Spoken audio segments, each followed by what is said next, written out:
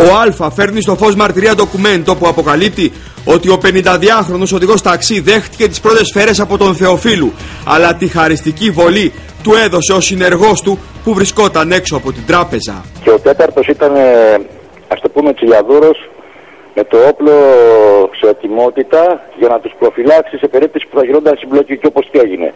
Και αυτός έδωσε τις δύο τελευταίες χαριστικές βολές. Εκεί το είδα, ήταν, ήμουνα στα, στα τρία μέτρα από, από αυτόν. Η αστυνομία θεωρεί βέβαιο ότι οι βαριά οπλισμένοι ληστές της Πάρου είναι και αυτοί μέλη της τρομοκρατικής οργάνωσης όπου εμπλέκεται ο 30χρονος Θεοφίλου.